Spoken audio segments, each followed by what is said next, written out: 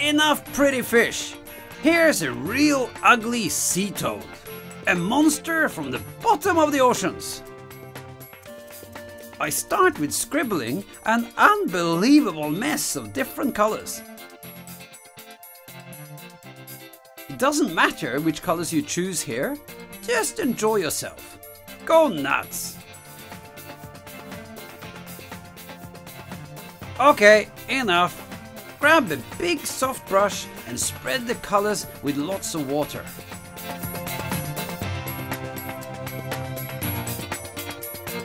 When the paper is dry, I start sketching in the horrible toad.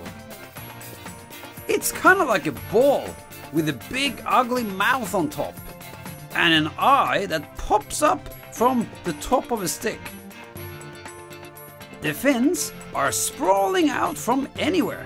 It's kind of spiky, like a porcupine, but uglier. And make the teeth as big and sharp as they can possibly get. Now, let's color it up. Fat orange ugly lips. Scribbly warts, spots, and stinky pimples.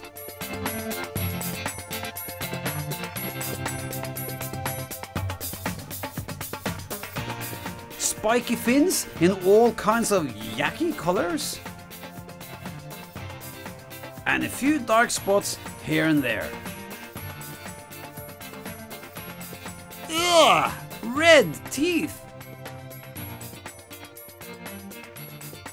And of course, a long sticky tongue that it uses to catch other fish and pull them down into its boiling, poisonous stomach. Poor little fish. I think I'll draw some more weird little deep sea critters around the big one, just to add to the atmosphere. Okay, fans, time to add the water.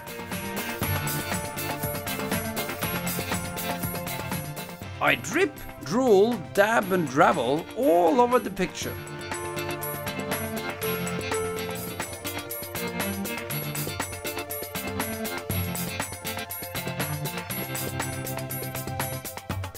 Sometimes, when I draw with watercolor pencils, I feel like mixing in a few other types of materials, like this one for example, an oil pastel. I touch a bit of white here and there as I feel like.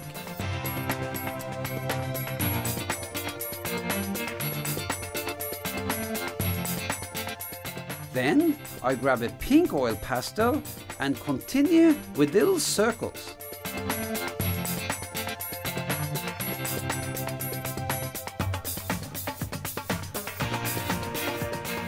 Next, I use an orange oil pastel for the lips and little dots.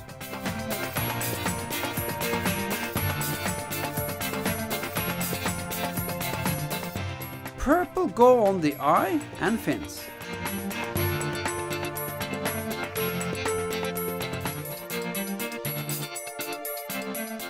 Finally, I scatter some tiny, crazy green revolting plankton everywhere I can. Remember to sign your horrible masterpiece, everyone.